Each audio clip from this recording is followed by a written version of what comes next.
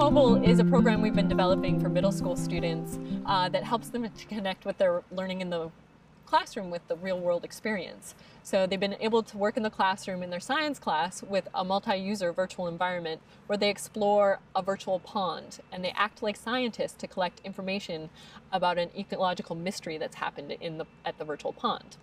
But then now we've developed EcoMobile to allow the students to take some of the pieces that they're learning about in the classroom and learn more about them in the real world.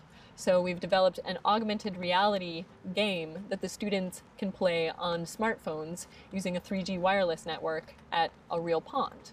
So as the students move around the real environment, they um, encounter hotspots, and at the hotspots, there is information that connects with what they were learning in the classroom.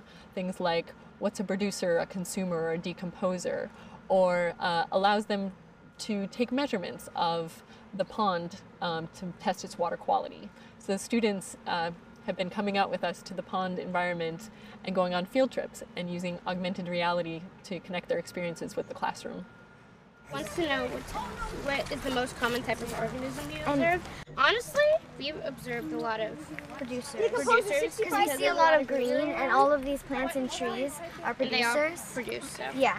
The kids have been very excited to use the smartphone devices, and it's amazing to see how quickly they can pick it up and use it to its full capacity. Um, it took a very short introduction for the kids to be able to navigate with the device and to access these hotspots. And they were figuring things out and troubleshooting together. Were, it was really fun to see them work together to solve some of the problems that they were encountering. And, and you know, one student might not quite understand how uh, something worked, and another student was right there to help them uh, figure it out. Some of the, the programs they're using and the probes that they're using are very similar to what real scientists use to monitor ecosystems. And so they're getting experiences that rival what, what real scientists do. And they, they realize that and they see um, things about the water quality and start to understand what this means for, um, you know, we've had a lot of rain in the last few days. They're connecting the fact that the rain might affect what's happening in the pond and what's happening in their local environment. So they're starting to understand that, that the things that happen in the world are affecting things very close to their homes. The higher the more cloudy, the more cloudy, and the lower, the less cloudy. The less cloudy. I, I think it would be zero to twenty. Maybe. Yeah, I agree. Yeah. Yes. All right. That was a good prediction. Now let's see if you were right. Okay. Could you get the bucket? Yeah. You got it. Into the fill line. Wait, what was our decomposer? Yeah. That's good. Oh, we're gonna need the cap on that. Did you fill it up? Yeah, yeah, it's filled up to the. Make sure is it lined up? Line. All right, let's see. All right. Now we've got to turn this on and test the meter. So it's channel two, so it's the brown one. Okay. So minus 40. It's going up.